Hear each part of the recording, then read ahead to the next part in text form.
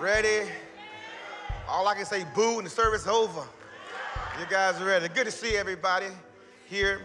Let's just jump right into the word right now. We're going to go to the book of uh, Joshua, chapter 5, verse 1 through 9. Now, when it comes down to the word of God, listen to me real carefully. The job of the teacher is to bring the scripture to the level of the listener. That's my job, okay? It does no good to start teaching the listener up here stuff if they down here.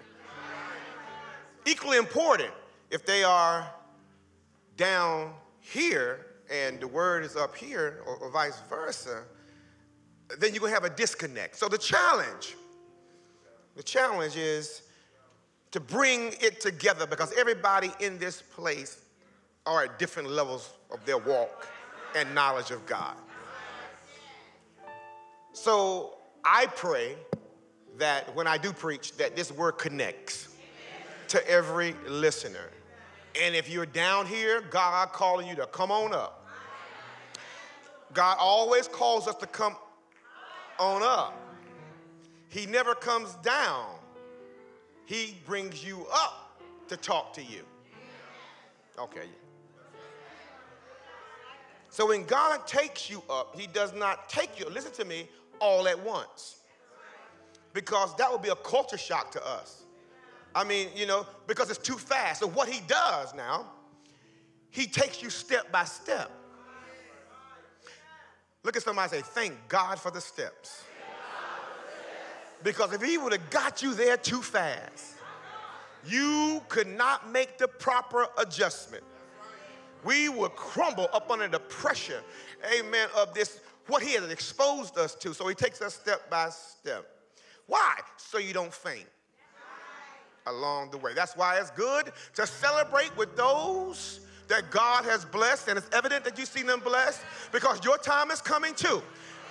Never criticize, never criticize what you don't understand because you don't know what they've been through to be where they're at today.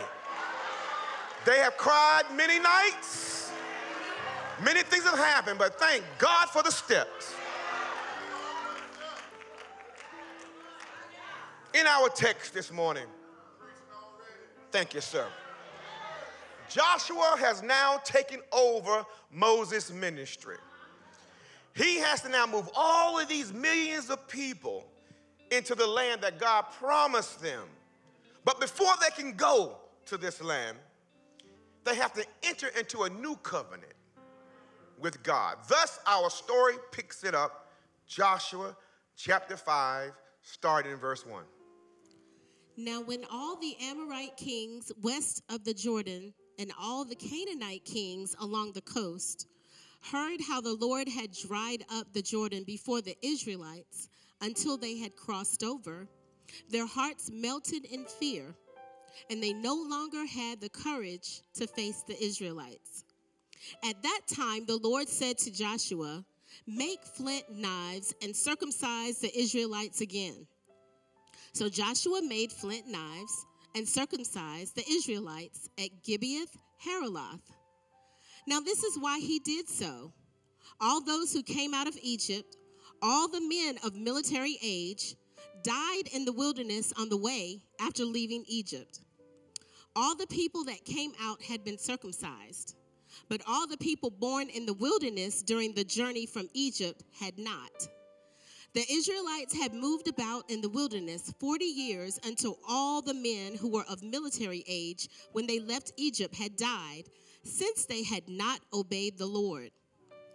For the Lord had sworn to them that they would not see the land he had solemnly promised their ancestor to give us, a land flowing with milk and honey. So he raised up their sons in their place, and these were the ones Joshua circumcised. They were still uncircumcised because they had not been circumcised on the way. And after the whole nation had been circumcised, they remained where they were in camp until they were healed. Then the Lord said to Joshua, Today I have rolled away the reproach of Egypt from you. So the place has been called Gilgal to this day. Can you pray with me? Father, I thank you so much. Father, for the called out believers, oh God, that are here, for those up under the sound of my voice, for those that are streaming. I pray, Father God, that you will do something great to the degree, God, of they didn't even expect it. God, so I ask you, God, to take them up high and let them see what you have for them. Lord, I ask you, God, give me the strength today to preach this word physically and spiritually. We thank you and we love you in the name of Jesus. Can the church say amen? amen. You may take your seat, amen. I want to thank everybody that participated in, uh, in our Super Bowl Sunday sports attire. Amen. Y'all look great in here. Uh, the, the, the, participation, amen, is, is good because the Bible says if he can get his people on one accord, he can do great things and mighty things. I want to continue from last week's message, blessed in a mess. Can anybody relate to that right there? How he's still blessing you while you're in a mess. See, somebody that's arrogant couldn't say it. But the truth of the matter, amen, not one of us are without sin. We all have come short of the glory of God, but thank God for his grace and his mercy. That he has decided to bless me in my mess. I want to turn your attention back to verse 5, and I want to pull from here. Now, all the people that came out were circumcised but all the people that were born in the wilderness by the way, as they came forth out of Egypt, them had not been circumcised. So, what we see off the bat, we see that God met the Israelites where they were. And, one, and on the basis of a blood covenant with God, they begin to experience a mighty move and a powerful move of God. Now, God tells Joshua, tell the people, in the process of me making them fruitful, I have to cut them. I, am gonna have to cut them in their bodies. They had to enter into a relationship with God. They, they, they had to be circumcised. They entered into a blood covenant. And God says, I'm going to cut you so I can remove the reproach of Egypt off you. So if we can modernize this today. God says, I have to cut you so I can remove the reproach of the culture off you. I got to remove the reproach of society off you. I have to remove the reproach of worldliness and the way of the world because you are bombarded with it and you have received it. Instead of receiving what I said about you, I said I'm gonna give you promises. And we see in the text it was the promised land. And God said, For those that disobeyed me. Now, how they disobeyed, they just didn't believe. They just didn't believe that God will do what God said he will do. He said, I'm gonna let them die. They shall not go into the promised land. But those new ones, I'm going to bless. So today I'm going to remove the reproach off you. And in verse 6 it says, For the children of Israel walked 40 years in the wilderness till all the people that were men of war, which came out of Egypt, were consumed because they disobeyed the voice of the Lord. And God brought them out of Egypt. But the people kept going back to their point of reference. And God said, I cannot have this group of people that came out of Egypt going into the promised land with their old mindset. And God allowed the ones that came out Egypt to die in the wilderness because they refused to change their mindset. And you see, these people, you got to understand, these people saw the miraculous power. I mean, they saw miracles. They saw the Red Sea open up and they walked on dry land. They saw that when the enemy came after them, that God closed up the sea. You got to get a picture of this visually. Hey, man, we talking about a big body of water that, that opens up, and you're still terrified and scared because who wants to walk through that? We ain't never seen anything like this. They saw water coming up out of a rock. They saw their food coming down from heaven every single day. They saw the power of God, but they kept going back to their point of how can you sit in church? Hear this kind of word. See your marriage heal. See your children restore. Seeing your body come back to life. How can you sit in this every single week and then go back? To your point of reference. The problem with Israel up under Moses' regime is found in the New Testament in Hebrews chapter 4, verse 2. And here's what the writer says about Moses' group. He said, The word was not mixed with faith in them that heard it, and they did not profit from it. They heard it, but their faith was not mixed. They didn't move when they were supposed to move. They always went back to a fearful place. They always thought God is not going to do what God said He's going to do. Amen. When you get into trouble, you need to understand God said, I know your future. And I know I'm going to bless you and I'm going to prosper you and I'm going to give you an expected end. Right in the middle of your calamity, right in the middle of your mess, He already reminds you, I'm going to do it now. Don't faint by the wayside. I'm going to bless you in spite of what you see. Instead of us believing that word, we go back. And the word was not mixed with faith to those that heard it. And they did not profit from it. Now, understand the word profit. If you ask any business person to define profit, they will tell you after the transaction is over, and all the expenses have been paid, the money left over is profit. I don't care how much you make, it's what you have left over is profit. You can make $5 million, but if you spend $5 million in one cent, you're broke.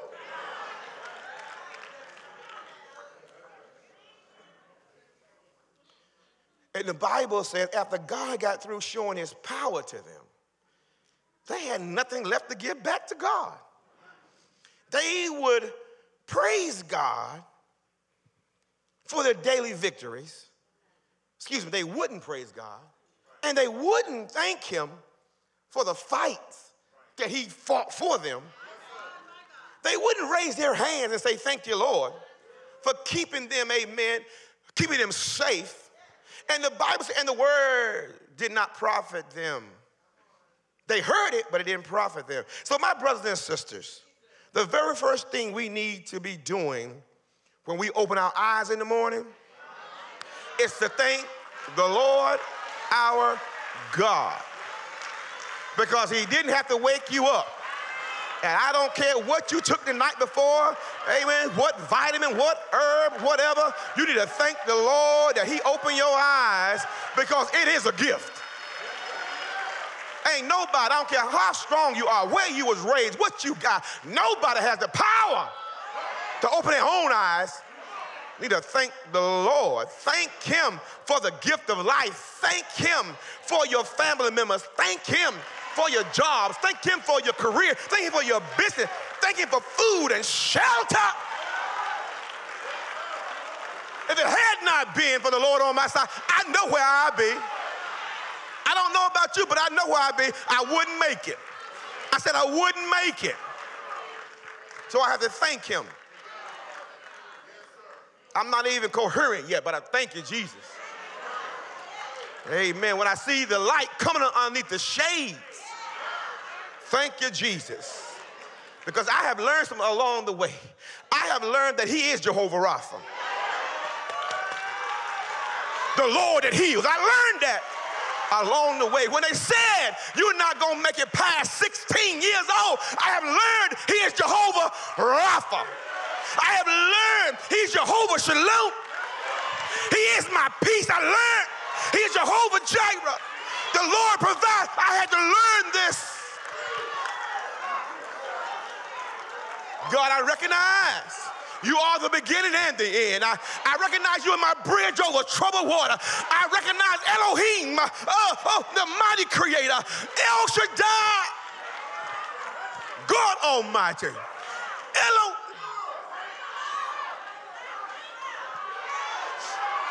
Emmanuel, God is with us. Adonai, the Master. So when the testimony is over, and every situation is over, and every circumstance is over, you should have something left to shake in your pocket and say, I know God did that. I know He did that. I could have not done that on my own. If it was not God in that steered the steering wheel, I knew I fell asleep. It was no doubt I fell asleep. I don't know how I got here in the first place. Have you ever woke up the next morning and say, How did I get home? And I ain't talking about the one that's drunk. How did I get home? If it had not for the Lord, sending angels down, take the steering wheel. They don't know no better. Well, but I got a destiny for them, and they cannot die right now. Yes, yes, yes. You got to know that God did that. Nobody else did that. God did that. Profit is what you have left when you come through the fire and you come through the flood. Profit is what you have left when you come through the wilderness and out of trouble and you're still standing. Profit is what you have left when you leap and shout and say, God did that. God did that. Some of you can't even understand where I'm talking about because you have not recognized if had not God took that will, you wouldn't be here. You have to understand profit is when you do business in the spiritual world. In other words, you have some dividends left over. You have some investments left over. Amen. You have some certificate of deposits, amen, in your spirit, and you know God brought you out. And if nobody else can help you,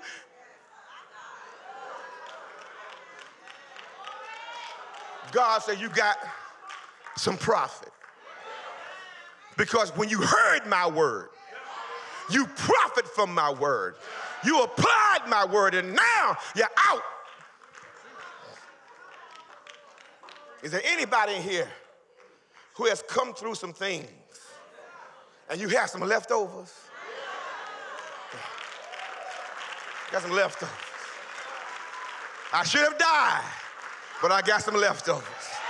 I may be coming in here with a sore throat, but I can raise my hand. I, I, I may have some back problems, but I got some feet I can still dance. Do anybody got any leftovers?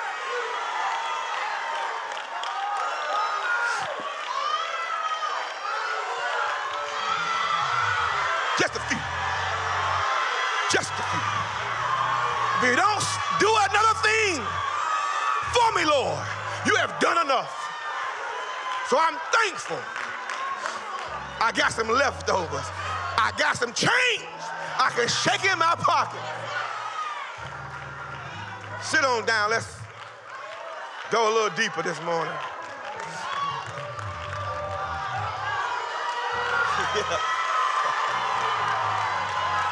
Yeah.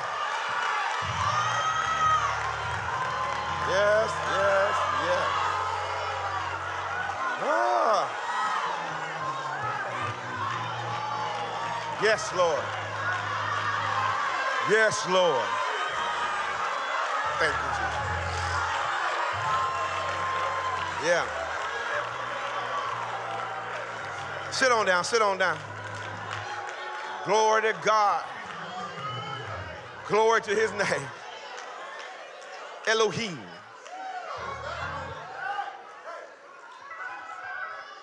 Dr.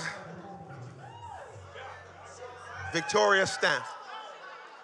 I thought about you, Brother Larry, how you took care of your mama. it took everything in you. But you got some profit left over. God Almighty. It was not in vain. Uh, I said, I said, where they at? They say they're on the island somewhere. They, they vacation and some. I said, they deserve it. They need to, amen. And God wants somebody else to know in this house. Because you're taking care of an elderly parent. And it is a burden. They not a burden, just the care. But God said, when it's all done, when everything has been written, and the last dot has been put on the contract, what's going to come out of it is profit. And the Israelites had no profit. Not because God didn't move, but because they didn't believe the God that moved. And the word did not profit them. If I don't preach another thing today, that's a whole sermon all by itself. That's enough, amen, to get you to Wednesday, and some of you to Thursday, and some of you, amen, to 2024. I don't know where you are right now, but I can tell you right now, that's enough right there.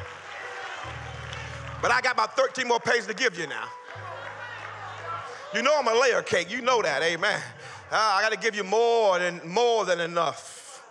Sometimes that's my insecurities, you know, about, you know, what I do. I just got to give you more than what I have, just in case y'all don't act right.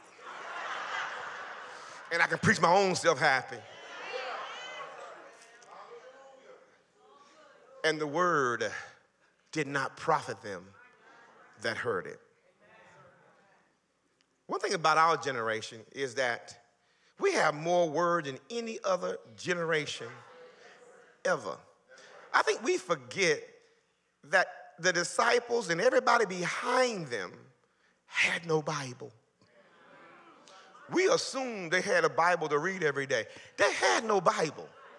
The best they had was scriptures that they wrote and, and, and they put on their wrist in little, little pockets around their neck as a necklace they can pull out a scripture to. They had no Bible. And they made it. And here we are 66 books, commentaries. Oh my God, every kind of Bible teaching software. Amen. We are exposed to great preachers 24 7. We have Christian music on demand. But it's possible to have the word, but it not profit us. We do not believe the word we hear. And sometimes we become church junkies. What do you mean, Pastor? We just come to church to get a fix. We come to church to just get happy and then go home and do the same thing we did before. Go back and get to the same trouble before. Go back and argue at your husband and your wife about the same stuff. And they heard the word but it didn't profit them. To fail to believe God is the uh, epitome of insult. To doubt him is to just, he is a liar. To suggest that he will not do what he has promised. And because they did not believe God, he let them die in the wilderness. My brother, said, I don't want to die in what I'm called to come out of. Let me say that again. I, I don't want to die in what God has called me to come out of. These people had a wonderful deliverance, but they failed to make a profit with God. Don't let us keep coming to church, going home, coming to church, and going home, getting dressed getting undressed, uh, going here and going there, traveling to this conference, traveling to that conference. Who's hot, who's not? Who got caught up in the biggest membership and who has the less membership? My God, help us uh, to make a profit out of this mess. For God never continues to do business where there is no profit. When he looks at you and he looks at me, he want to know, do I got some profit? Uh, are you producing on the level you're supposed to do? Because you have been planning how long? How long you been saved now? Do you got any profit? You got any fruit from your lifestyle? Are you, are you just a taker? Do I got any fruit I can see out of your life? Because I can see fruit out of your life, I can do business with you. Hmm. So God never continues to do business where there is no profit. And a whole generation died in the wilderness except for a handful of people. Graveyards all over the wilderness. Just think if everybody in here who has had transactions but no profit would drop dead. How many funerals would we have? You'll be shocked at who would drop. Because God does not measure success the way men measure success. You can be great in the eyes of men and be lacking in the eyes of God. Watch this. There was only one good thing that came out of all this mess. In the process of them coming and going and doing, the millions of people who died in the sun drenched desert, the only sunshine, the only ray of sunshine, amen, in this dismal mess was that the woman, the women got pregnant in the middle of the problem. Isn't it something? that you can become pregnant in the middle of your problem. You can have dreams, amen, and, and, and visions and great stuff in the middle of your mess. That you can have something new kicking on the inside of you while you are dealing with some old. Isn't it amazing how God can bless you in a mess? Isn't it amazing how God will step right in the worst situation just to bring birth to something that He wanted to bring birth out of? Some of you have come out of some adverse situations. Some stuff I can't even relate to what you have been through. You came out of problems, and the only good thing that came out of it was you. Ah, yeah. No, your mom and daddy wasn't pre- I mean, uh, wasn't married. No. One thing about married, but here you come. The old church would say you was born out of wedlock. The old, old church would have said, Amen, you, you are a bastard. But God's, I know what I instructed. Uh, I need somebody can relate what I'm talking about. Because you may thought you was a mistake. You may thought, amen, that God don't care about you. But it was God's hand of mercy that rest on your life and said, I'm going to do what I said I'm going to do. A matter of fact, I'm going to do a greater thing in you.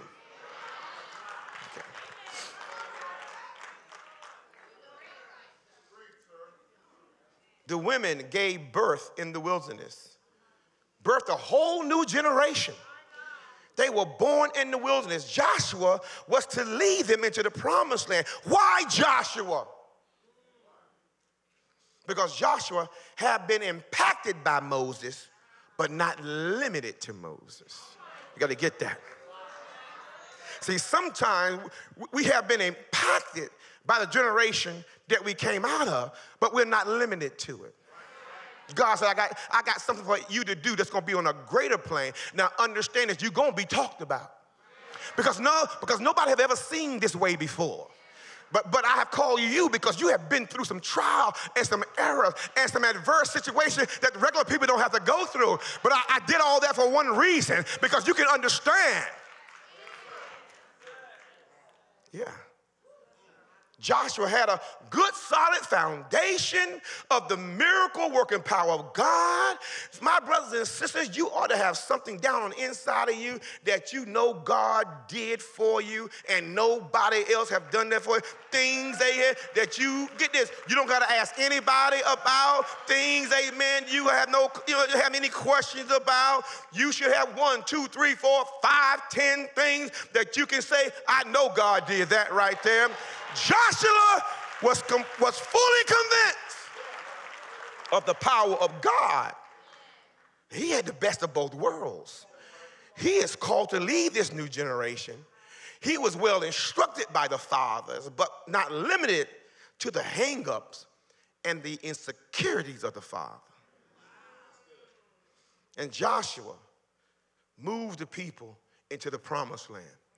And God had ordained that the prophecy will be fulfilled in their lives, in the children of wilderness. Now, why is this so important for us today? Because unlike their fathers who were born in houses that had addresses and lived on the streets of Egypt, this group was born in tents born with suitcases packed, born ready to go, born ready to be moved, born, they used to traveling, they, they, they used to moving light. They were not tied down to a system or a denomination or doctrines. These children were born on the move. If you're going to be any part of what God doing in these last days, amen, you're going to have to learn how to hang loose. You can't be tied to no denomination, and you can't be tied to dogmas, and you can't be tied to insecurities. You got to be, if God said it's time to move on, it's time to move. On a moment's notice, and here's where the church have gotten soft. We have gotten too comfortable with where we're at. We ain't had it this good, amen, in millennials where you can come and sit in a controlled environment where there's no riffraff. There ain't roof leaks and water and buckets on the floor to catch the water. Bathrooms are fully functioning. Sitting in chairs covered with foam. Carpet up under your feet.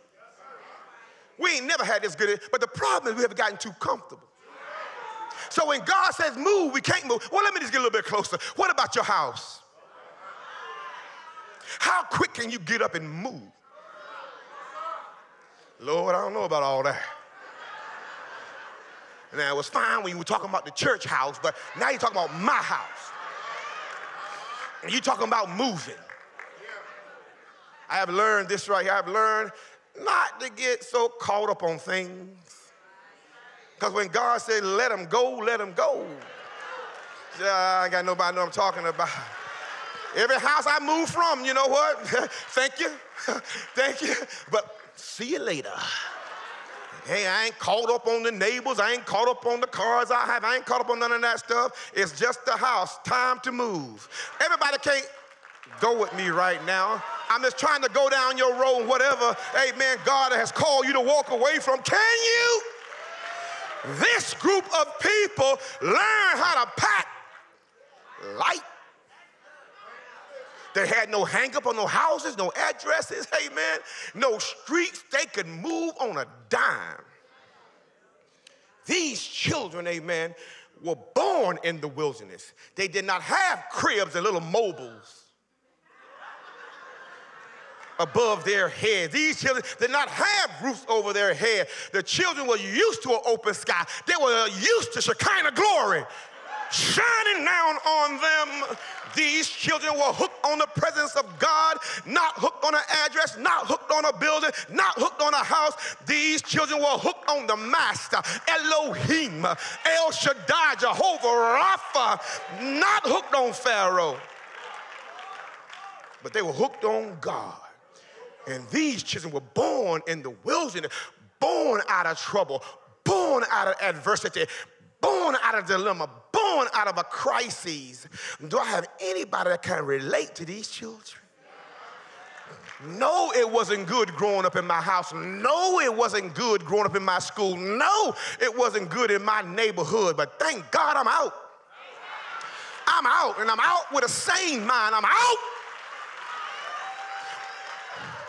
with some profit. Some of you were born, get this, you were born with your back against the wall by no choice of yours, born in controversy, born, amen, in the middle of struggle, born in a mess. These children were born without a house, born without anything to hold on to. All they had to hold on was God. His arms held them up, amen. His voice spoke to them. The anointing began to teach them. For some of you, it has not been easy. For some of you, you were born in struggle and you are used to pressure. While other people crumble up under pressure, you smile at pressure and you look, amen, halfway cross-eyed. Is that all? You trying to tell me you crying in the bathroom over this? Can I talk to some black people in this house? Can I just talk to a few Negroes in the house? There are some things don't bother us. You can call me any kind your name on. I done heard it before. Amen. You can do this. I, am used to that. So when real trouble comes, I don't think by the wayside. You got other cultures, amen, can't take talk. When the pandemic came and said you can't come in here without a mask, you had other people be like, so what? I'm used to not going through the front door. Oh, I, am used to not being served. I'm used. I'm used to this. And so God brought you up with no address, brought you up in trouble, brought you up in controversy. Now I can move you because you understand. You understand what it takes for me to, amen, show my power in you. You don't get caught up in things anymore. I got any survivors in the house? Yeah. Some of you are used to going home by yourself. Ah, can I talk to a few single folk? You are used to eating dinner by yourself. You are used to going to the movies by yourself. You crawl most of the days of your life, but through it all, God Almighty. Somebody say, I, I got to go back to Andraé Crouch. Somebody know what I'm talking about? Through it all, I have learned to trust in God. I have learned to lean on Him. Through it all, through all the storm, trial, tribulation, I still know how to praise Him and thank Him. I dare not stay home. He been too good to me. Once again, I got any survivors, any, any, any survivors. You're the one that God has called to carry the answered prayers to family members. Oh, can I talk to somebody? It was you, amen, the one that went through the most. The one that said, I'm out of here. I don't care if you die, live, I'm out. It's you that has been called. Through you, their prayers, their prayers will be answered. You're the one that God has called to fulfill dreams and promises in the land flowing with milk and honey. You haven't learned how to hang loose. You haven't learned how to be your own counselor. You haven't learned how to talk to yourself. No, you're not crazy, but I've learned I got to talk to myself. No, I'm not crazy. No, I'm not losing my mind.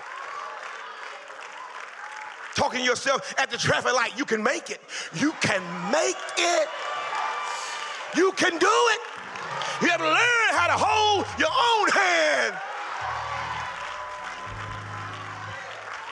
You have to learn how to raise your hands up and put them on your own head and say, by his stripes, I am healed. These children did not know anybody but God. And then God said, I can use them. Don't know no protocol. They are not circumcised. They're not in covenant with me, but I can use that group. You better watch out for the 2023 crowd that's about to enter into this church house. They won't have no church protocol. They won't know scriptures. They won't know a scripture from a fairy tale. But God said, those are the ones I'm using. And the very ones sitting down here acting like you're giving God, amen, all of this because you showed up, you're about to be out of here.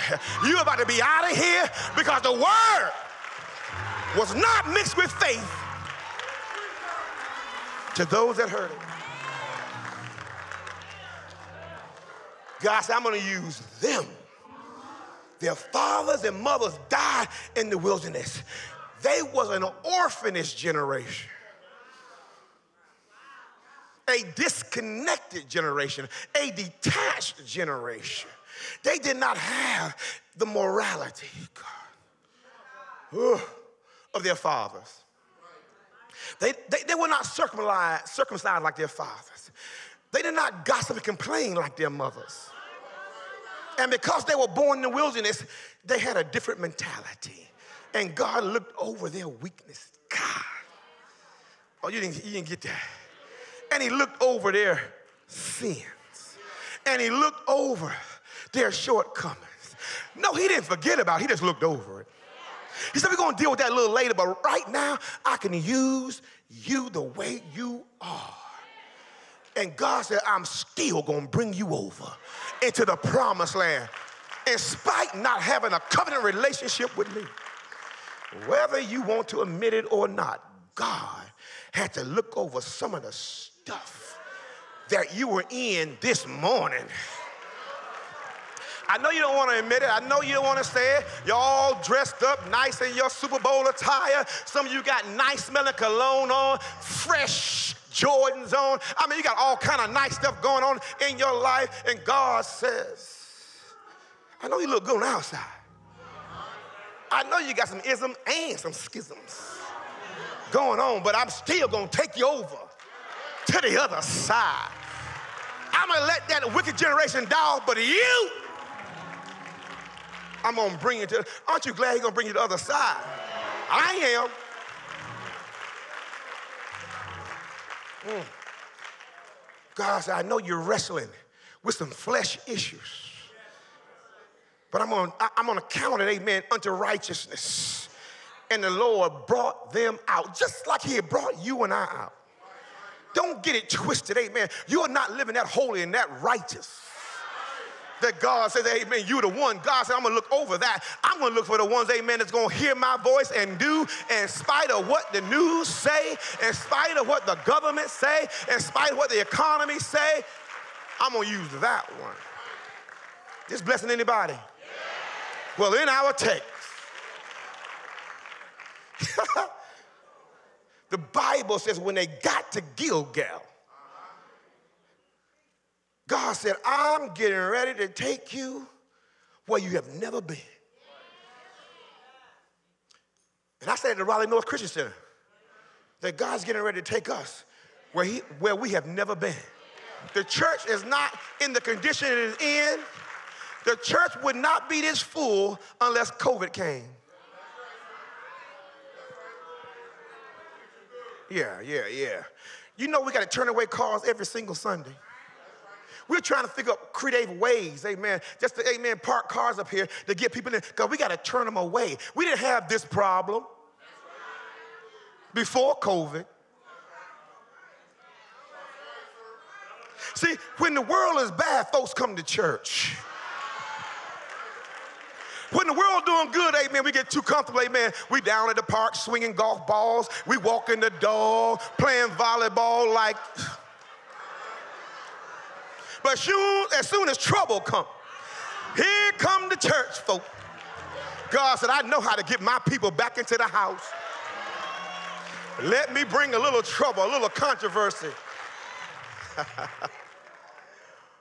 oh. God said, I'm going to take this church to another place. He says, and it won't be anything you have ever had to be compared to. And God said, I'm going to take you where never been before. Why? Why? Why? Because you were willing to walk by yourself. Because you were willing to hang loose because you let people go who wanted to go. Can I pause there? You got to learn how to let people go that want to go. Thank you for being here. I see you, but don't really want to be here. And when somebody come up to you, you still at Raleigh North, where else would I be? I'm blessed there. I'm whole there. I'm balling shot call. Well, where will I be?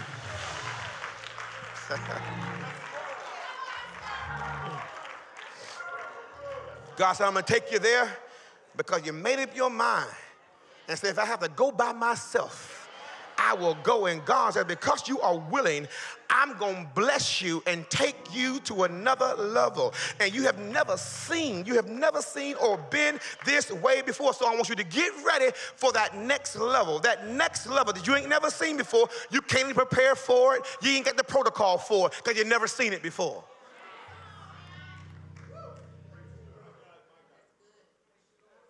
Somebody said, I just turned the corner on my miracle. That's what just happened. I just turned the corner on my miracle. It seemed like I stumbled here, but God said, I brought you here. And now you're about to see what's on the other side of the corner.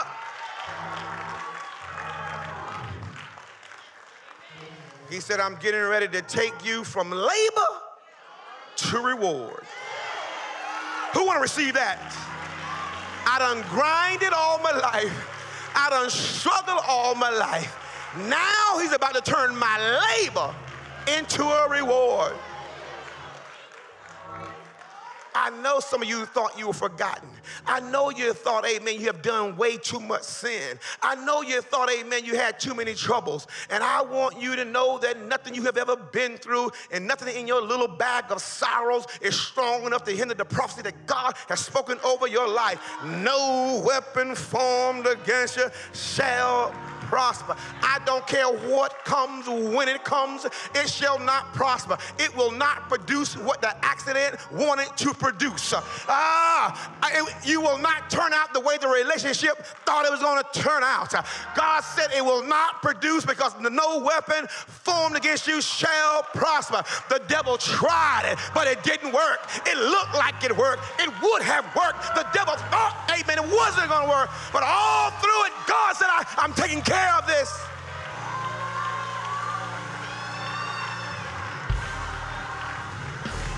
And the text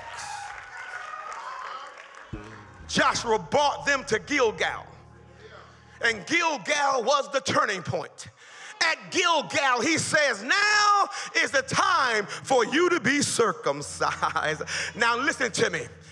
All of the carnal, unsettled, unforgiving, fleshly issues that God had overlooked up until this point.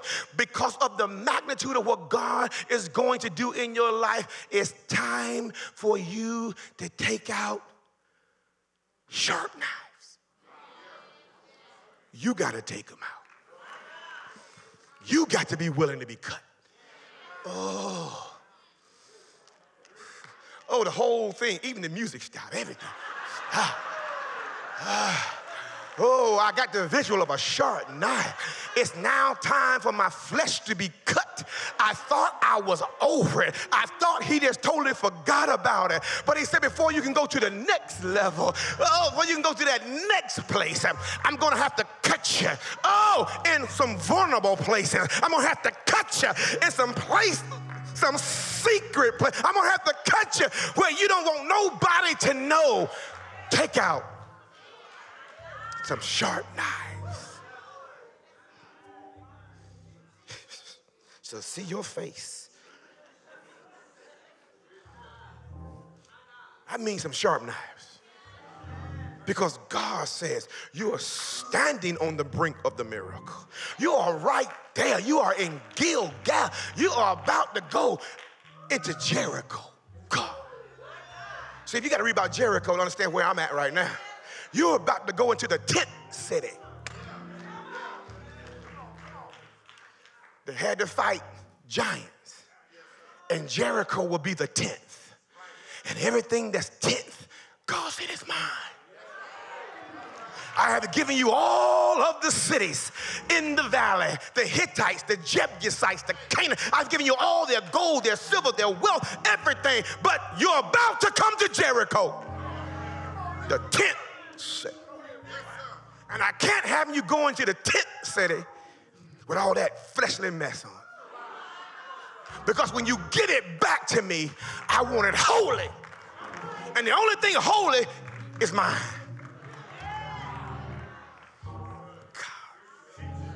Y'all getting all this?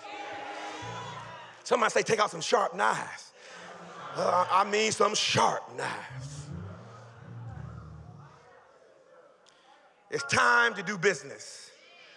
What am I trying to say? Don't give the devil, don't give him anything to work with. It's time to take out a sharp knife. You don't have time to get angry at anybody anymore. You don't got time to get even with anybody anymore.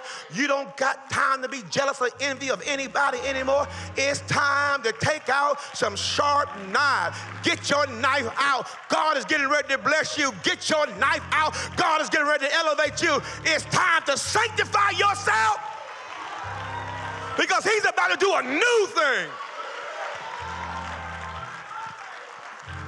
The little things God overlooked. Amen. When you was in your puberty, in your adolescence of your life, little things he overlooked in your teen years, little things he overlooked in your 20s and your 30s and your 40s. He says, now it's time for you to come all the way in. Oh, man, I got seven minutes. I need to stop right here because some of you just as loose as you want to be. You are loose Christians. Oh, yeah, yeah, yeah. You're loose. You're loose. And you're carnal. And God has overlooked it. He's overlooked it and still bless you. But He said, today, we're going to have to bring it on. We're going to bring it on in. All of that flesh you showing on social media, all of them booty cheeks you got on social media, all of your breasts out on social media. Who am I talking to back here? It's time to get some sharp knives and it's time to do business. I know some of you can't clap. I know some of you can't rejoice because it's you that's saying it's time to come all the way. I'm trying to help a mother. I'm trying to help a father that got too much going on. You got a scripture right beside nakedness. And God said it should not be. Why I ain't got no claps on this side? Oh my, why I ain't got no help over here? Can I get somebody, amen, to rejoice with me? It's time to bring it on in. Somebody get some sharp knives out.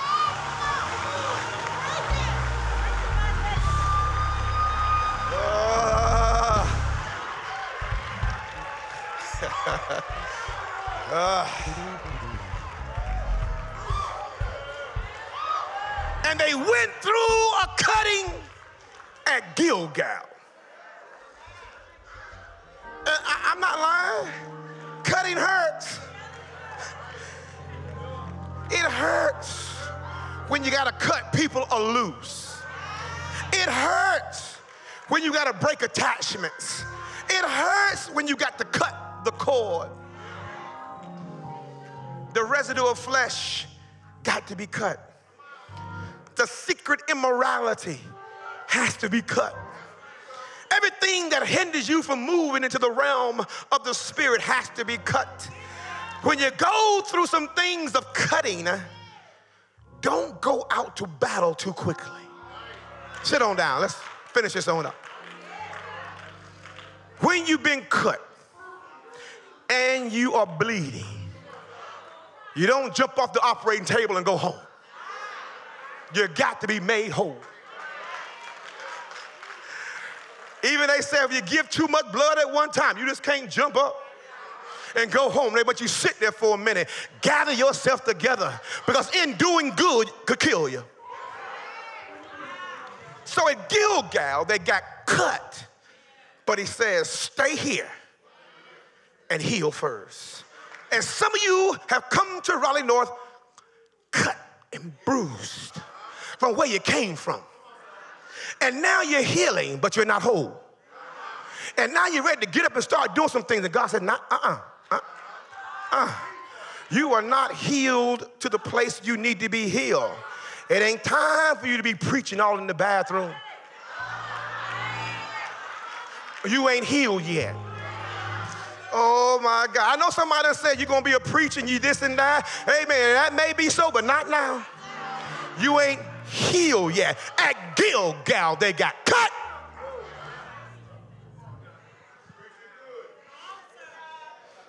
So when you get cut, don't go out there too fast. And the Bible says, after they were cut at Gilgal, they stayed right there until they were healed. I'm so grateful that God won't cut you and then not heal you.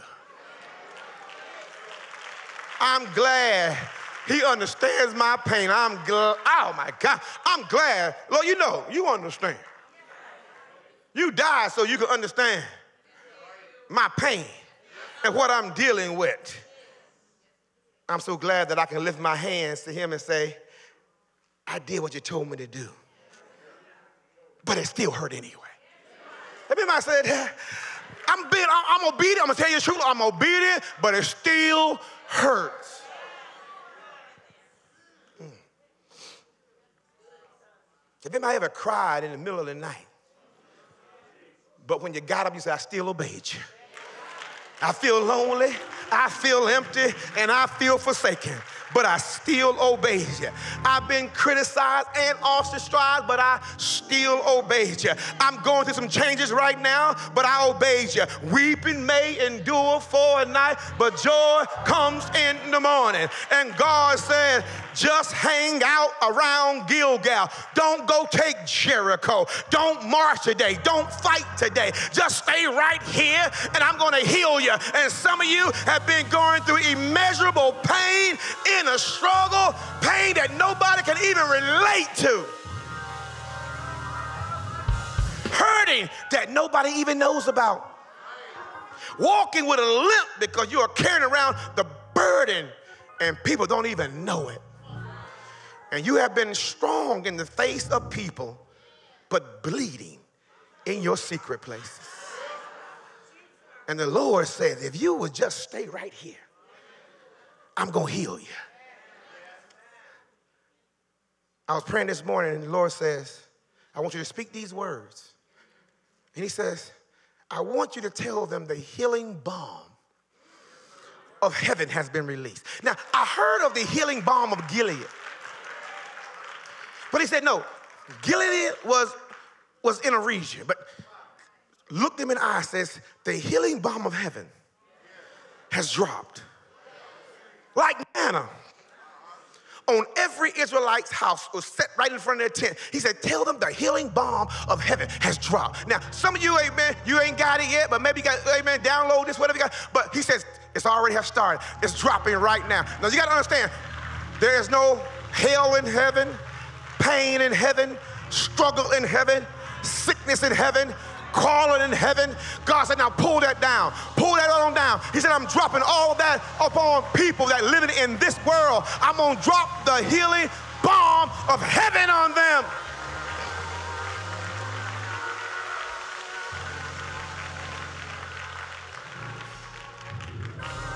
He said, tell them it was released from the wound in my side it was released from my beaten back. Oh my God. God, I'm gonna heal. I'm gonna heal everything. Everything up under, up under, up under my auspice, I'm gonna heal. Everything in this world, I'm gonna heal that obey my voice.